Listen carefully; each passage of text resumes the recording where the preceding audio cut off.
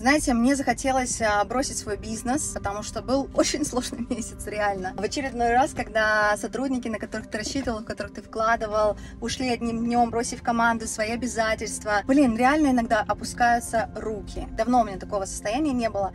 Мне даже написал кто-то в директ, типа, Кристина, у тебя, оказывается, тоже бывают сложные периоды, потому что кажется, что у тебя вообще все идеально. Я просто подумала, что важно об этом сказать, потому что неважно, вы в бизнесе или вы в найме, у всех иногда бывают очень-очень сложные периоды, когда кажется, что все летит в тартарары. Поэтому я решила записать для вас подкаст, который называется «Что делать, если вы...»